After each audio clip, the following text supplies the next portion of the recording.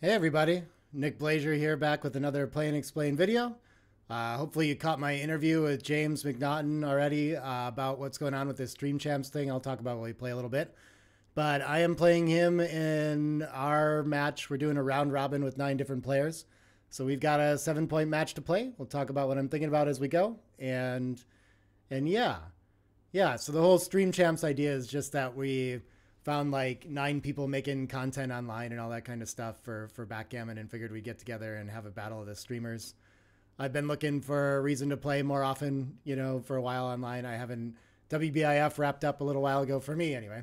I think also overall they they probably have a champion by now so i'll have more when that comes to the next one but yeah yeah. Um, i'm excited uh, to have more content to make just playing here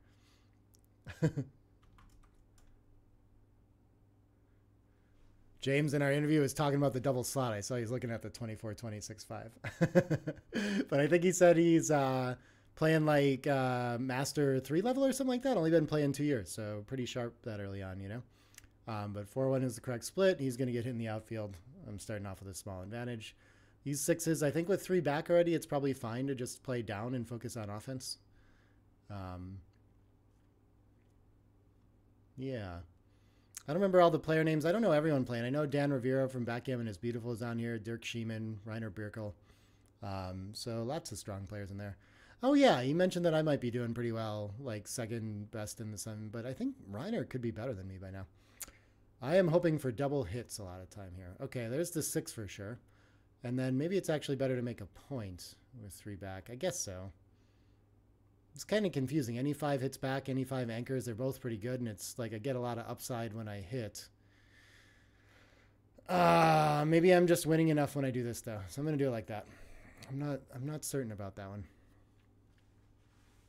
If I get hit back, then I've like neutralized the checkers back in race advantage, so it feels like it's given up a little too much. Okay, he does not make the five points. He can make the 22. That seems pretty strong. I'd probably, I mean, we're hoping to make the, oh, he can make the 20. That's even better. I like his play. when I'm rusty, like I start to miss things like this quite a bit, I think. Um, okay, I think we're going to try to come around and make him break the anchor if he's going to hit us. I guess we can duplicate the fours that step up. Not that he's in a big hurry to do that. Um, but we can play a simple game for now. Just a simple seven point match we're playing too. Oh, the 3 5 reaches now, bummer. But I guess the 5 could hit either way yeah, it should be a lot stronger to hit and send a checker back than to just make like a fairly deep and weak board point. Definitely favor purity when we're this far ahead too. Okay, uh, I think the race is too close not to hit, so I'm going to go ahead and do that. I could think about making an anchor, but I'm slightly ahead in the race. I don't want the weaker anchor either. Um, I don't like having to risk sending another one back, but like I don't, whatever advantage I had, I don't think I have anymore, which is a bummer. Here, I think I should make a board point behind I don't think I want to swap the mid for like a blocking point or anything like that. I do also want to get off the 22. It's a little too deep when I'm slightly ahead in the race. So I'm, I'm looking to still get my back checkers moving.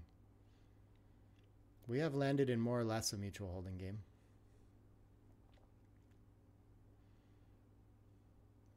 Yeah, he can afford to just play simple and clean up and try to work his way around. We, neither of us has really created much structure yet. 5-4. I wish this advanced to an anchor somewhere. Um, what do I want to do though? I think this seems really reasonable. I don't think I want to be stuck back on the 22 right now. A lot of times we just run off the 22 anyway, but I open up double fives, double threes can blitz five three. I'll do a lot better. So I don't really like that part of it. Um, I don't know. I, I can't imagine using using my last spare to play behind here. If I play the five out, then what is the four? It's something even more loose than this. So I, I really think this is my most productive play. Nine in the zone. I shouldn't be too scared yet. I have a better board for now, too. Yeah, and so here, I guess I'm like, yeah, like I think I'm going to be kind of happy to play a single checker back game and run, but it's a little scary because, of course, he has the better board and attacking options now that I don't have. So um, but it was always going to be tough to be ahead in the race and have a deeper anchor than him. So I think hopefully I've salvaged like the best option out of this. I don't think he needs to switch. Like the structure is so pure and nice and blocking me well. I think he wants to keep that, and I think I would just play the checkers down instead, and have more outfield coverage. Yeah, feels a little early to give up the five point just to try to make a nine checkers in the zone kind of blitz thing, you know? It's going to be tough to follow up on.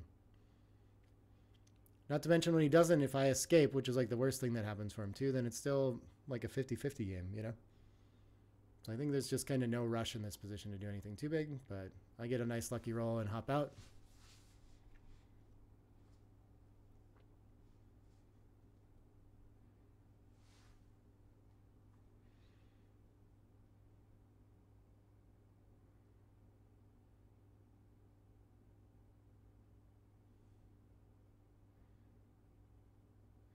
Right. Uh, sorry, not ahead enough in the race, so I'm not thinking about anything here really. This three is annoying.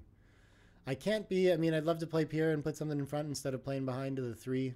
Um, but really, this board is strong enough that I need to respect it. Maybe a little earlier in the game, or if we had closer boards, something like that. If I still had an anchor, plenty of places where it'd be reasonable. And I shouldn't have any cubes until I have an, like four less checkers on the midpoint here either because I just don't have any market losers, even though the race is getting good enough. So this could be a sequence where if I gain a little bit and get a checker home to safety, um, and he rolls like really low on the pips, I could have it. But I don't think, yeah, only nine pips is not really, um, maybe a close racing double if we were like completely contact free, but we're not. So the added contact is gonna shift it outside that. 15 pips could be enough though. Now this is a fairly clear racing cube and getting into past territory. And so I think when I clear the mid safely, I do lose my market. My flexibility is a little bit weak here. Um, I think it's worth sending though on that market loss, but it should be small in either direction. It's kind of getting like borderline area, and the contact should be great for him still. So you should still have plenty of take value there. Six five next roll would be better.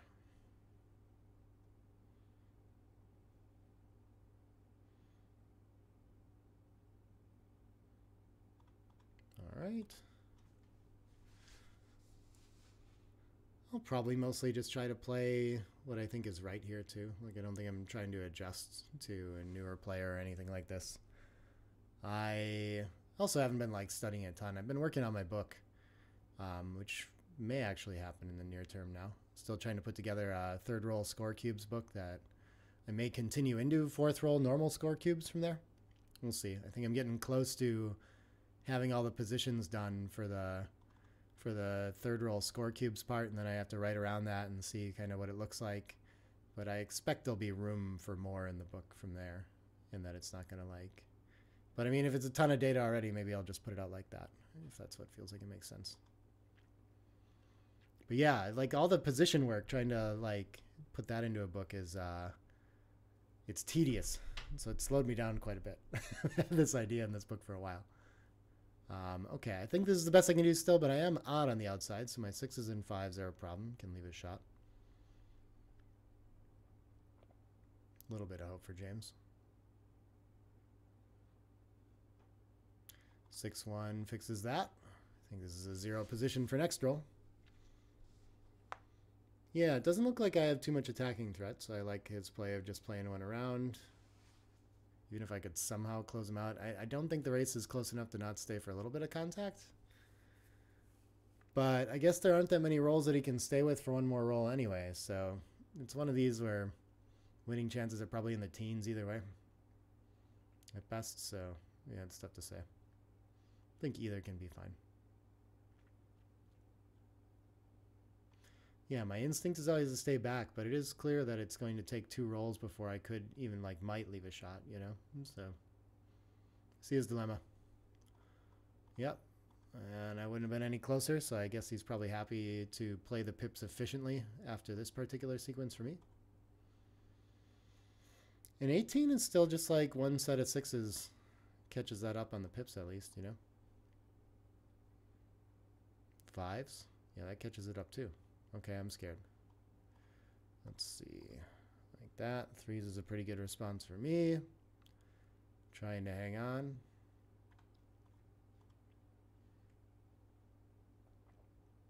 I still jump on here and like play practice matches as like mainly speed gammon matches um, on heroes too. Um, think I've been playing decent. I don't know what my like PR is there exactly, but but I've been I've been enjoying like the speed gammon study again. It's just uh, I feel that part of my game sharpening again. Um, just like where your instincts and all your decisions. I think that's some of the best study available in backgammon. Okay, it looks like it's gonna have to be sixes. Just like that on the side there. All right, I survived the first game. get a nice little 2-0, 4-5 away, 7 away lead. No big score adjustments to the opening no matter what, but 4-1 split tends to be right anyway. It's actually kind of hard to make that a slotting roll. There are exceptional situations, but 4-1 is going to want to make the 5 point. Nice structural advantage to start that he immediately counteracts. I think I'll still be pretty happy to attack on his major split here. Uh, hitting in the outfield would be fine. Yeah, that's interesting. I think I didn't really think about anchoring. I just immediately thought about playing offense as well, but it's not unreasonable. Um, might just be, okay, he's going to regret it now. And this should be good enough for Cube a lot of the time at at this score as well. So what am I doing for money here? I already have a huge board advantage, but he still has play with two checkers back. One of my market losers, probably like 5-4, 6-4, 6-1 could be doubles, sixes, something like this, fives. Some escaping rolls. Maybe if I anchored with like a six five, that'd be good enough. Hmm. Nothing terrible for me, so this should be like a fairly persistent advantage. But I mean, really, I don't know. If I don't do much and he makes the bar point, then it feels like a pretty even game. So I guess I'm kind of on the fence whether or not this would be for money. So maybe I'll use the score to adjust uh, just rolling here. Um, I guess when I hit, I lose my market by a significant amount, probably, but maybe I'm not so upset. I don't think I'm like too good yet. Let's see. Four ones, boring. I think I want to make the eight, though I don't like it as much with the two. I don't think there's anything. I mean, I could play eight to four and step up and do something with the back checker instead, or I could come out to the bar point too. This could be one where it's nice to have the time if I get if he makes the bar point anyway. But I don't really want to be hit loose out there. So I think I'm just going to do this. Yeah. Keep it simple.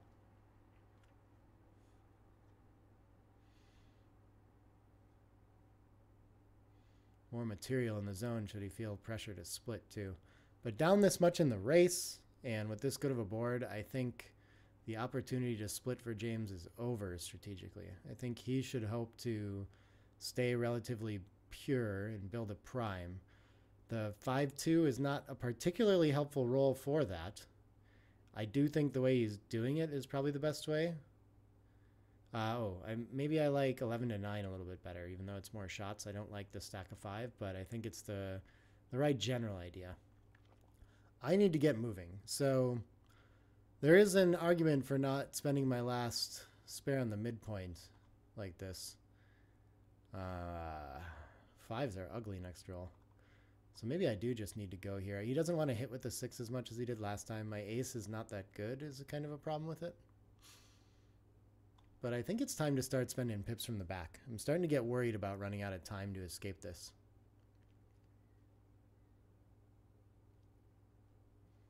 I think I'd prefer not to be getting hit here. But I will get some returns out of it. 3, 4, 3, 5, 2, 5, 1, 5, 1, 6. That's a whole bunch. Three one's not too bad. Three six is not too bad. Three five is a good one. Three two is a huge shot for him. He gets to upgrade to a 22 point anchor, and I have kind of nothing here now. Um, I wish I could. Wow, this is a tricky one. I can't get this guy to safety. The fours are out either way. Making the nine point is like a really nice piece of structure against the 22 but I don't think I can afford to leave three blots all over the place on the other side of the board to do that. But I have to leave blots no matter what. So, I mean, these checkers are almost, if I, if I played 18 to 14, then where are my other two? I'd have to like put it in front with the six. I just can't do that, I don't think. I don't want to give up the eight. I could give this up. It doesn't look like 18 to 14 is going to work. I'm not seeing a play I like with that. And so then maybe 13 to 5 is my safer play. And that leaves sixes and aces and not a whole lot of room anyway. Which is starting to sell me on the idea of at least making some structure and keeping all the checkers alive.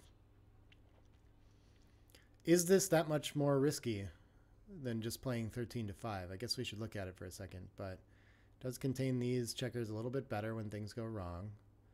Um, so let's look at this. When I get hit here, a lot of times I might have to like, there could be awkward break from the midpoint kind of rolls next time anyway.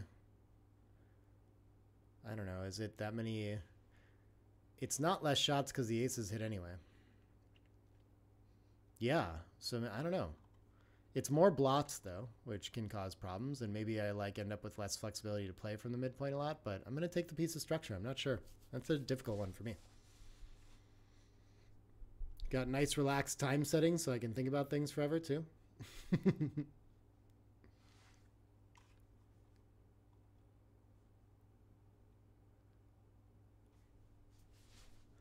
oh, is he thinking about the cube now? He is trailing, so I guess he's got incentive to think about should he be adjusting somehow, but I'm not very clear on who the favorite is in this game.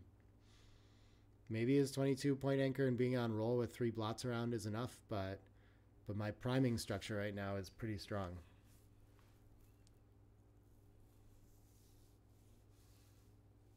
I don't know if he hits two and I fan with both. Like, am I, am I passing then? I feel like I still have some play. So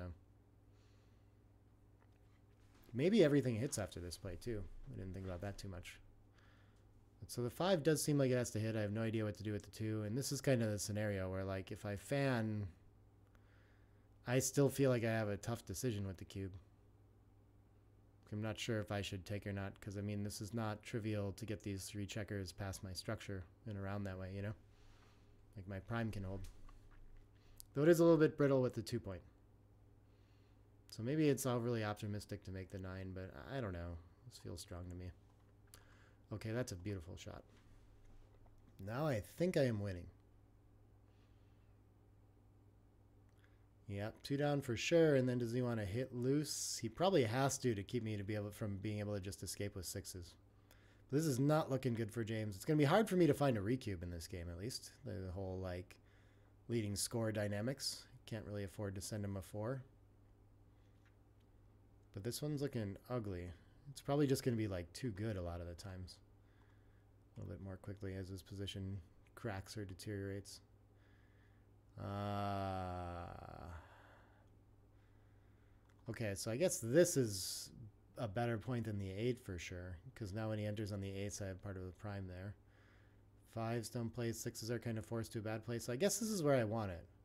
I was thinking about switching 9 to 8, of course, but I think that gives him a little bit too much mobility. So I think this is the idea. All right, 6-3 pops out, beautiful. He says his cube may have been a little optimistic, maybe. Um, I don't think I'm going to have any reasonable cubes here. I think I just have to play on. Uh, maybe I should clear this at some point. I think I want to start breaking contact a little bit here. I'm not less worried about priming. Let's see. Ooh, three one's not exactly what I had in mind. I could clear the seven. That looks pretty nice. If he pops out, though, I can have a lot of weird shot levers, though. So I think I should probably just do this. I don't know. It's annoying. Like, the 3-4 can be difficult to deal with. When I miss the hitting 4, I can have, like, sixes that leave shots and things like that. This worked out pretty well.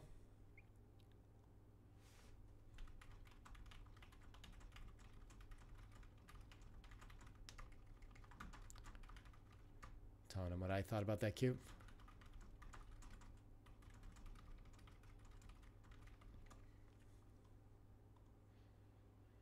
Let's see. So we can take the four off. Yeah. Oop, no. Oh, I'm, I don't have all my checkers in. What am I talking about? Okay. So then this is the four for sure.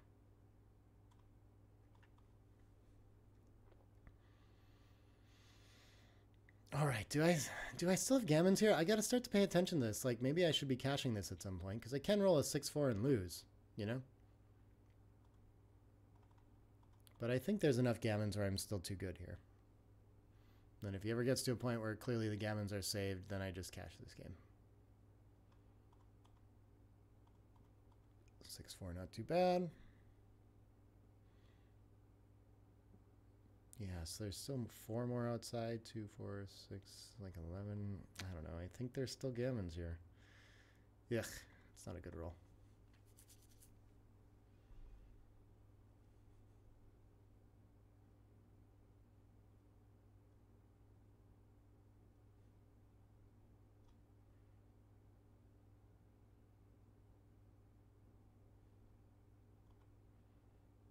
All right. Let's play for the gammon if we're playing for the gammon, right?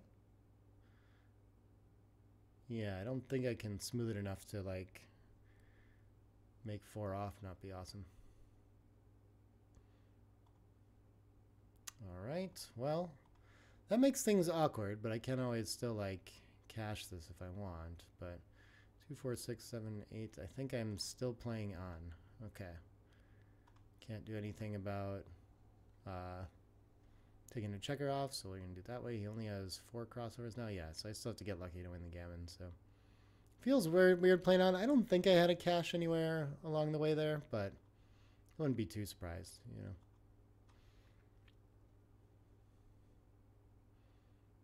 I need like two sets to get this done. Ooh, there's one. Oh no, okay. I'll give him the double.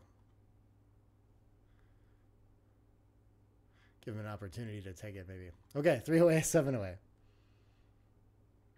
I was doing a lesson with someone on this recently, just like it's a score where I still mainly believe just don't send it.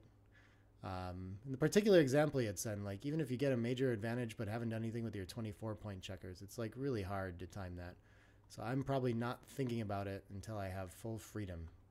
And in this game, I just spent a bunch of uh, pips. He advanced his anchor. I'm stuck behind a prime. This is like, I think he's favored now. So you need to get like lucky to get into it.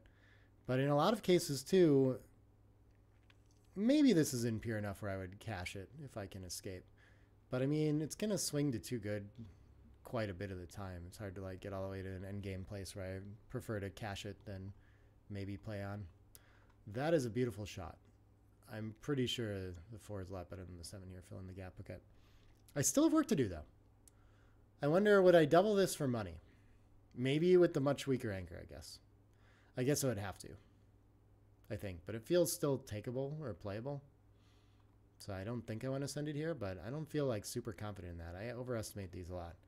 I don't know exactly how to bring this home either. Maybe the six should already come out there for distribution because this is like a fairly dead checker on the four point. But maybe what's happened instead is I've forced him to like play and come to me kind of. I do, the 6-4 might have had an easier time running if I didn't have a spare here too. Maybe that's what I would have tried to do, but he's so far down in the race that I don't think he wants to do that. I don't know. It's confusing. I guess I probably just don't want to come off my anchor. Okay, now I definitely would send this for money because I have market losers. If he leaves a shot. If he plays two behind, is it any different? It's just like a prime that's cracking through me and he's deeper and... Yeah, I think I'm doubling this for money. And then, is there any way he passes it? I don't think so, but I can like overestimate these so much. If he runs, maybe. Like, you just can't play a single checker back game with 20 pips deficit in the race. Like, what are you hoping to do, you know? This, he still has a prime. He has a pretty pure board. If I hit, he's in big trouble, but I still have to hop that prime. If I miss... If I miss, he's just given up the outfield, and he has kind of a lot of problems anyway. But if I roll like a 6 up, might leave him shots and stuff like that. It's not that good. But my 6-3 hits and my 6-1 hits. My 6s are fine, of course. So 6-5, 6-4, 6... 6-2 makes it to the 13 if I wanted to. I don't think I can do that. 6-5 is a big problem because then I probably have to come out from the back. And I don't really want to give up my anchor. Hmm. This seems really strong. Maybe there aren't so many gammons here or something like that too. But it is a bit on the volatility and maybe I'd prefer to lose my market. But when I just miss, like I'm kind of fine. I still worked. I don't know. I don't know what to do with these scores. I better play it safe. Okay, and fives and sixes come out. So getting off of either of those looks nice. Uh, this gives me a double threes. No, it doesn't. I don't know. Whatever. All the same. And so now I'm probably too good, but I do have to escape the prime. So maybe it's actually worth cashing here. And usually he's going to enter and save a lot of gammons anyway. This is another tricky one. How too good can I be? It feels like there's little work to do to get home. Even if I after I enter.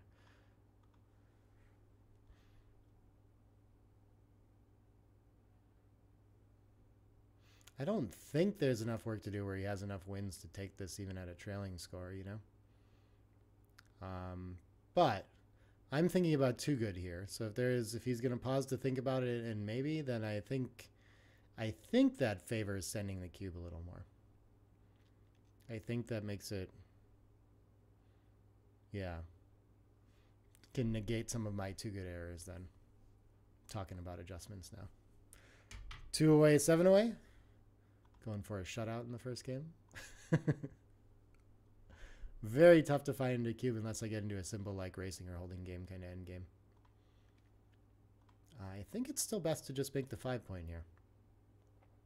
Maybe something score based or something else, you know, with the split and everything. I feel like I saw this come up on the forums, but I mean, I don't know. It's just such a good use of checkers. And when you, like, of course, you don't want to be hit, but huge improvement. And when you're missed, the follow up is so simple in that position that I think it's worth it. And this is not so bad either, though I did have a fairly good entry. Uh, how do I do this?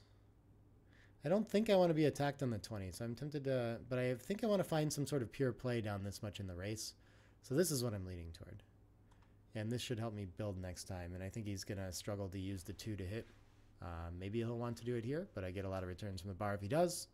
Kind of happy to provoke contact. Yeah, his 6-2 is just garbage otherwise, so I did improve that quite a bit some possibility that tactics actually argued for not leaving this somehow.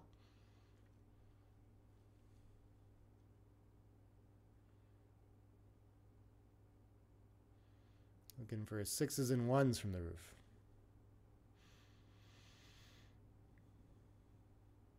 Yeah, the thing is, like, what else? There just isn't anything else. I like break your board behind seems, yeah. He is way ahead in the race. I don't know. This just seems like when it works, we're well on our way to winning, so. Okay, four comes in again. The three. The three, is it pure enough to just play to the three? Maybe we'll do this, I don't know. See, now this can just buy him tempo to get this checker around. I, this is probably an overplay. Um, because he can roll some awkward 3-4 that couldn't have cleaned everything up otherwise. I think my contact's good enough too, but it is possible that there's enough gammons where I'm not supposed to play this out with four back and maybe a fifth. But I am going to play it. But this was the idea with bringing down two, I guess, is that maybe I get some more contact with this blot if he wants to do something else. It makes it a lot harder to use a 4-1 or a 5-1 to build or a 3x or something like that.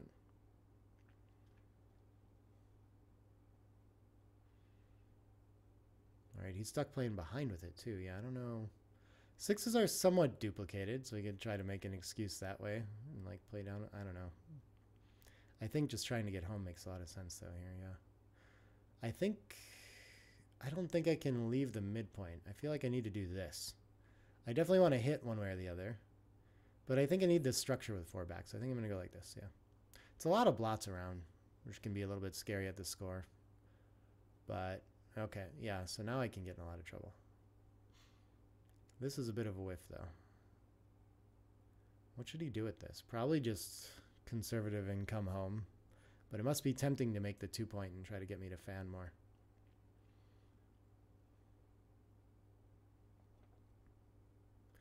Okay, I'm going to fan on a two point board twice. This is not a good way to shut the match out.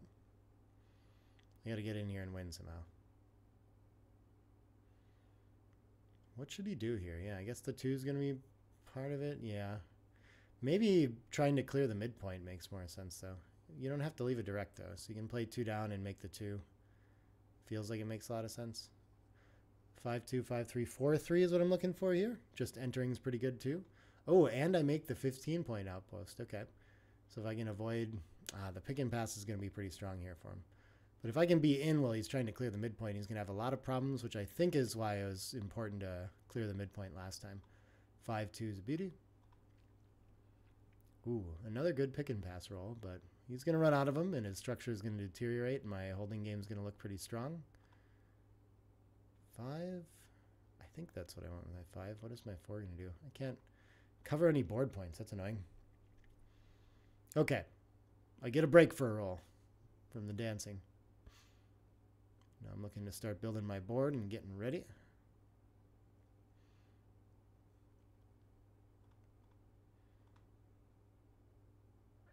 I think I like the gap here.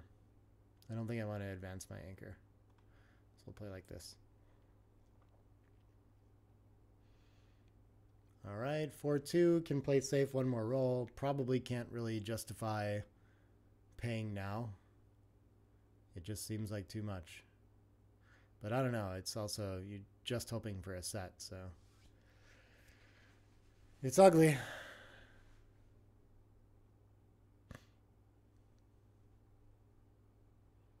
Well, he's wowing something. I don't know what he wowed. Six, five, four, one. If he played to the seven, it's like some duplication, but then some indirects hit too. I just don't. I mean, it's really. How's it ever going to get worse than this?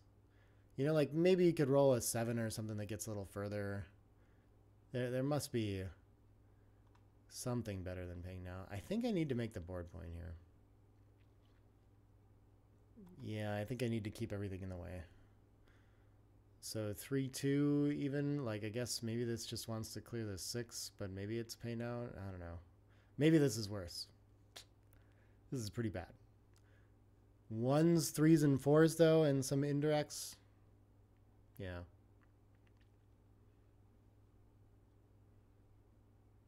I think it's still less than some variations he was going for last time.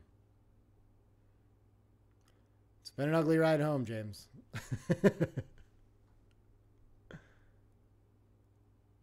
I'm feeling good about my chances, though. Three, four. So I can hit them both. I will do that.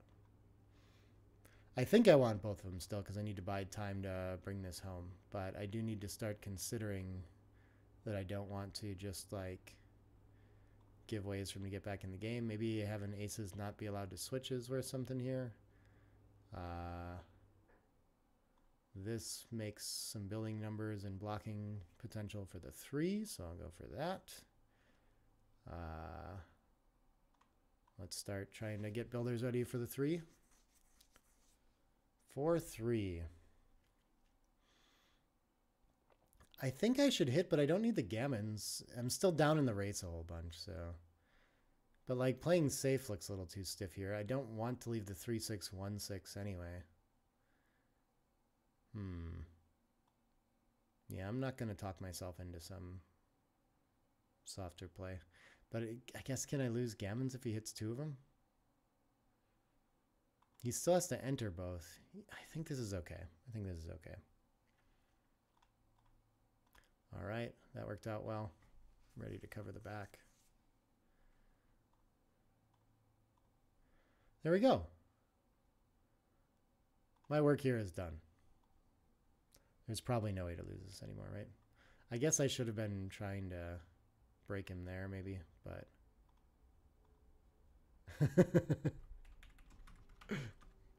says it's been brutal. It's true, as it should be. Mainly brutality in this game. Let's see. Uh, I don't think I need to trap the six off. It's tempting, but then every now and then he just rolls double sixes and has a game and could have just kept it simple. And I don't think we have too awkward at rolls here, so.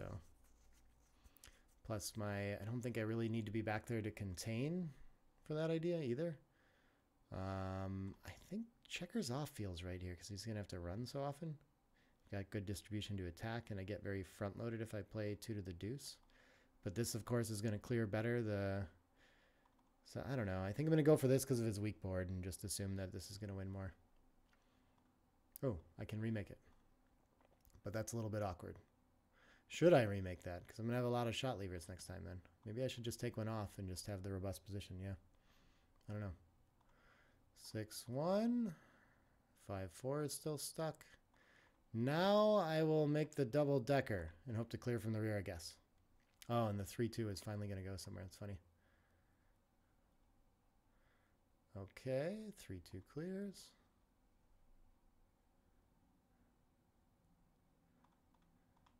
Things are looking good for one win on the streamer battle leaderboard. Yeah, you'll have to ask if you want to see other people like get in it. Maybe we could still add people. Simon changes his mind or something like that. I don't know. Let us know what you think of the idea and what you want to see and what we should do and all that. Um, but yeah, okay. So in the end, I played okay. I'll be excited to see the the XG stats on that exactly if that comes out the same or where I made my mistakes. Six is not my best match for like full time, but when you're like leading, yeah, let me say, uh, good match to James as well. Uh, but yeah, I'm excited to study through that. I, I'm really, I wonder where I could have made big mistakes. Maybe I missed some cubes along the way or had some issues at those leading scores. That can always be the case. I could have been optimistic on my take in some of those.